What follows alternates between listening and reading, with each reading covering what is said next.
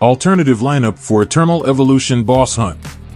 Every hero has a purpose and is worthy of evolution.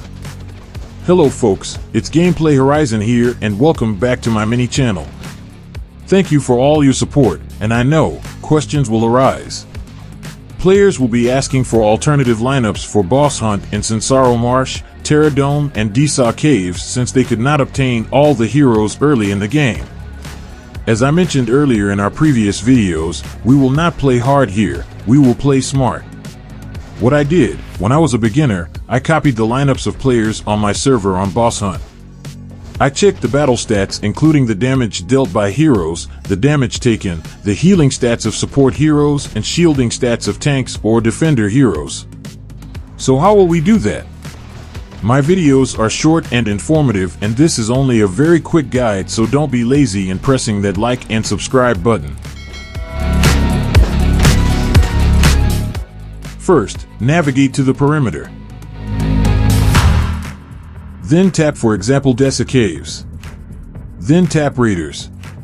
Under the Skill Info tab, press the Lineup tab.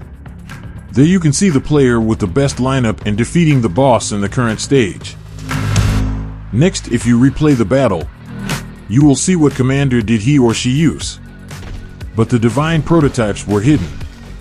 At the top left corner of your screen, you can see the damage dealt by each hero, and as you can see, the Hero Taylor has the highest damage.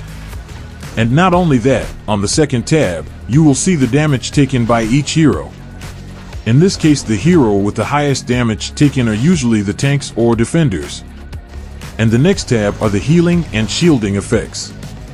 In this case, Hercules have a shielding skill effect that absorbs damage by a certain amount of HP percentage.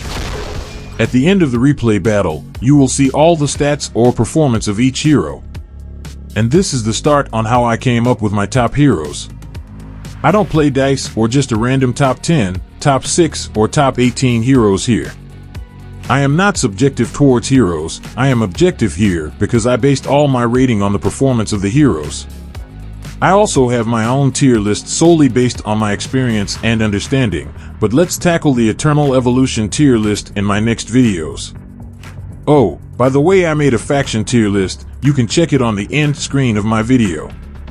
See you next time and happy playing Commanders.